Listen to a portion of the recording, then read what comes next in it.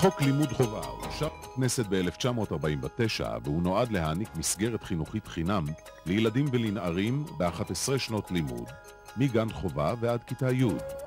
על פי החוק, הורים לילד בגיל לימוד חובה אחראים לדאוג לכך שהילד ילמד באופן סדיר במוסד מוכר. לא עשו כך, החוק קובע שדינם מאסר שני חודשים או קנס אלף לירות. החוק גם מגדיר שכל מי שחל עליו חינוך חובה, כלומר ילדים מגן חובה ועד כיתה י', זכאי לחינוך חינם, ולא יידרשו בעדו דמי הרשמה או כל תשלום אחר בעד לימודיו במוסד חינוך רשמי. החוק דורש שכל רשות חינוך מקומית תספק חינם לכל תלמיד הלומד במוסד לימוד רשמי, ספרים, מחברות, מכשירי כתיבה ויתר הציוד הדרוש ללימודים.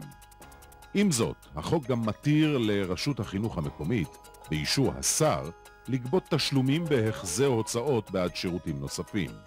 קיום מוסדות חינוך רשמיים למתן חינוך חובה חינם יהיה מוטל, כך החוק קובע, על המדינה ועל הרשות המקומית במשותף. ב-1984 אישרה הכנסת חוק להרחבת חינוך חינם גם לילדים מגיל שלוש, אבל החלתו של החוק מעוכבת מאז מסיבות תקציביות. הוא אושר לביצוע רק בכמה ערי פיתוח ובשכונות מצוקה. הנושא שב ועלה בדוח דוברת לרפורמה במערכת החינוך שהוגש בקיץ 2004. הדוח ממליץ על החלת חוק חינוך חובה חינם מגיל שלוש, מה שדורש תוספת תקציבית של כ-900 מיליון שקלים בשנה למשרד החינוך.